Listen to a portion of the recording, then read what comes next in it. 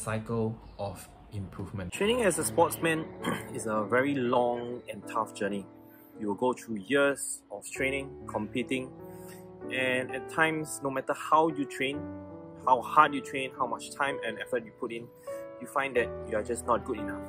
You can't improve, you're not as fast, you're not as skillful as your peers. Now in this video, I'm going to share my experience and give you my two cents worth. No, I'm not going to tell you, you know, just work hard or work smart because that is a given. However, what I'm going to share, it's beyond time and effort.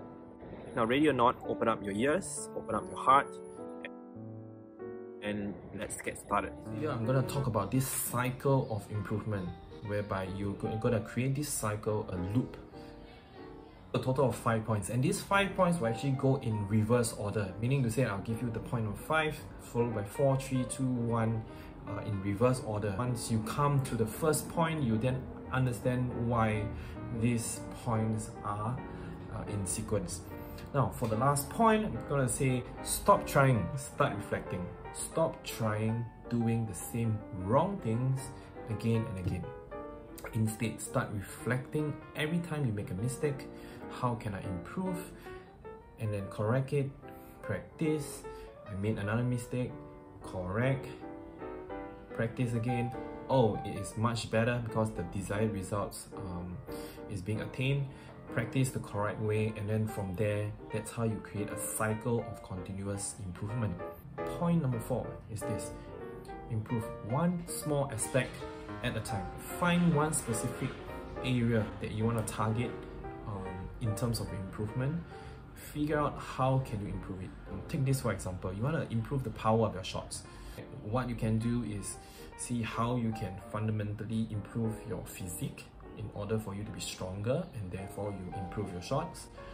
Or how about the technique, right? Activations of your hip, activations of your lower body, um, in order to generate harder shots. So these would be the aspects that you will target specifically um, so that you can work towards the improvement of the power of your shots.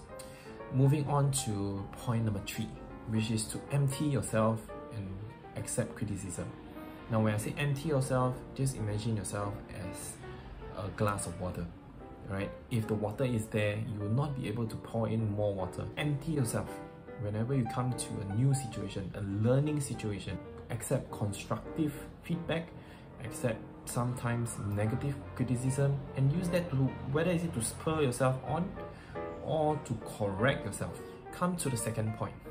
Ego and pride is worthless. These are baggages that we carry upon ourselves uh, in our daily lives. You need to get into a situation, that awareness that if your ego and pride is at stake, what is it more worthwhile? For it to let it go and reap the benefits in terms of improvement of the game, or because of ego and pride, you refuse to change, you refuse to improve, you refuse, you refuse to listen. Think about it. And now comes to the first point. You got to improve yourself as a human being. The very core aspects of my coaching is I tell my players they have to be a good human being because once you are a better human being not only you are a better player you are a better teammate you are a better leader better listener and understanding things uh, a lot more faster. So after reviewing all the points let's review back in sequence. Number one once you improve yourself as a human being automatically you will not put ego and pride at front.